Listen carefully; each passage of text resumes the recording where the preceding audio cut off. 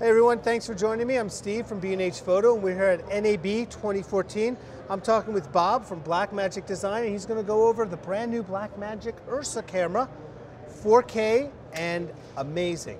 Yeah, thanks. Uh, the 4K uh, version of this Ursa camera is is uh, got a lot of things that people were using on our other cameras, bolting on monitors and things like that. So we created a new digital film camera that has three different lens, uh, three different monitors on it. So we have a 10-inch pull-out uh, viewfinder, which is uh, 1920 by 1080.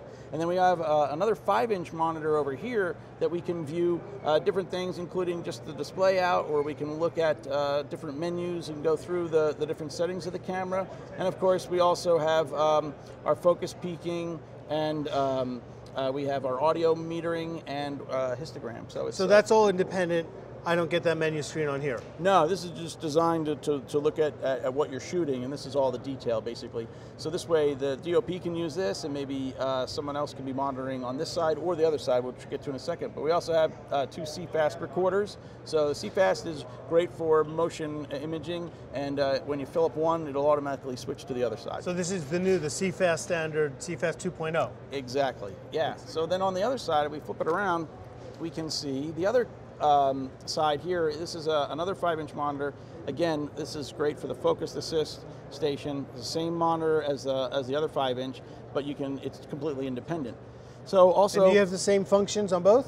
Same functions on both, exactly. And then on this side, we also have where we have our phantom-powered uh, mic inputs, and uh, we have an SDI out here and uh, 12 volt and then we also have uh, time code in, uh, reference in, SDI in and out, and these are 12 gig SDI. This is uh, for for 60p uh, Ultra HD 4K. You need uh, 12 gig SDI on a so single cable. Last year 6G was the big thing, and now. And it's, it's 12G. 12. Exactly. And I see we've finally shown some love to the uh, audio guys. Absolutely. We got audio meters over here, and we also have, we can see the peaking. So if I do that, I can see where, where, where it peaked on, on the audio here. So it's really kind of neat.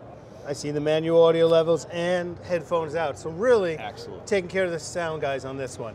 Exactly. And then on the back cap, we uh, have a, a battery. Uh, the the uh, plate that we provide can uh, be uh, used by either IDX or, or Anton Bauer.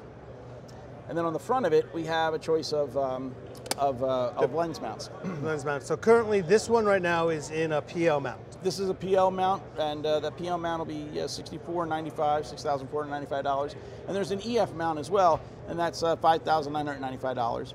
In addition to that, we're going to have a B4 mount, which are for TV lenses, that'll be later in the year. And we're also going to have a one without a mount at all, so it's going to be a cheese plate in front, and you can hook up uh, an HDMI output of a DSLR type camera and use the whole rest of the body. So same body, but you're using DSLR. And now, what about future proofing? So future proofing here is that all of the features, with the exception of the sensor and the uh, and the mount, will come. The sensor and mount will come out and then when a new sensor is available down the road, we'll be able to put that in here and take advantage of all the rest of, of the, the features of the camera, including the cooling that, that we have. We have this thing, it's got liquid cooling inside. Really? Yeah, so it's really designed for higher frame rates as higher frame rate sensors become available. So right now, so the, what about the, um, the cards, are those going to be changeable or for higher frame rates, how do you think you're going to handle that? The way we'll probably handle that most likely is to use uh, two, two cards at the same time and you do odd and even frames for okay. higher frame rate. That works really well. So what is our frame rate right now on this guy? This will go up to 60p. 60p and we can record that internally on the CFast cards out the back. Exactly. So, very impressive little camera. Not quite, but a very impressive camera from Blackmagic. It's the Ursa. Bob, thanks for spending time with us.